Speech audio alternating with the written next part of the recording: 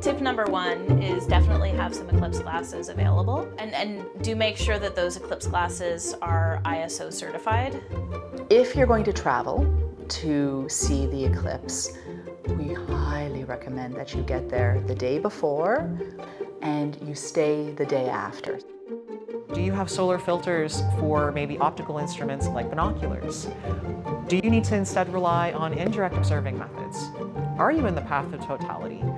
Just make sure you get outside and live in the moment. Really take it all in because two or three minutes isn't a long time, so you really gotta make the most of it.